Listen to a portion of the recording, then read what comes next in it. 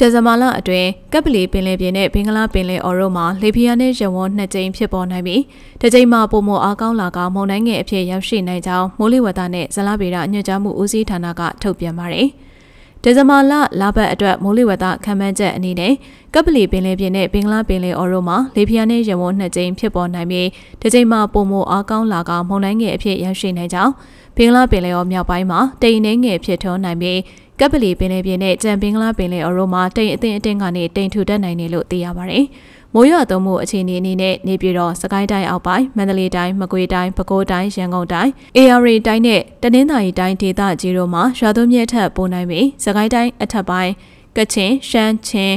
ရခိုင်ကယားကရင်နဲ့မွန်ပြည်နယ်တို့မှာရွာသွန်းမြစ်ခတ်မိုးထစ်ချုံရွာနိုင်တယ်လို့သိရပါတယ်။ ညအပူချိန်တွေအနေနဲ့ချင်းပြည်နယ်မှာဒီဇင်ဘာလပြန်မြအပူချိန်ရဲ့1.5ဒီဂရီစင်တီဂရိတ်အောက်လျော့နေနိုင်ပြီးစကိုင်းတိုင်းအထက်ပိုင်းရှမ်းပြည်နယ်မြောက်ပိုင်းနဲ့တောင်ပိုင်းတို့မှာပြန်မြအပူချိန်ရဲ့1.5ဒီဂရီစင်တီဂရိတ်နဲ့အထက်ပိုနိုင်ပြီးနေပြည်တော်စကိုင်းတိုင်းအောက်ပိုင်းမန္တလေးတိုင်းမကွေးတိုင်းရန်ကုန်တိုင်းပဲခူးတိုင်းအေရီတိုင်းတနင်္သာရီတိုင်းကချင်ရှမ်းပြည်နယ်အရှေ့ပိုင်းရခိုင်ကယားကရင်နဲ့မွန်ပြည်နယ်တို့မှာဒီဇင်ဘာလပြန်မြအပူချိန်ခန့်သာရှိနိုင်တယ်လို့သိရပါတယ်။ မြို့အခြေအနေအနေနဲ့စကိုင်းတိုင်းအထက်ပိုင်းတနင်္သာရီတိုင်းကချင်ရှမ်းချင်းရခိုင်နဲ့မွန်ပြည်နယ်တို့မှာ16ရက်ကနေ25ရက်ခန့်နဲ့နေပြည်တော်စကိုင်းတိုင်းအောက်ပိုင်းမန္တလေးတိုင်းမကွေးတိုင်းပဲခူးတိုင်းရန်ကုန်တိုင်းအေရရီတိုင်းကယားနဲ့ကရင်ပြည်နယ်တို့မှာ6ရက်ကနေ15ရက်ခန့်မနက်ပိုင်းမှာမြို့ထွေတွေဆိုင်းနိုင်တယ်လို့သိရပါဗျ။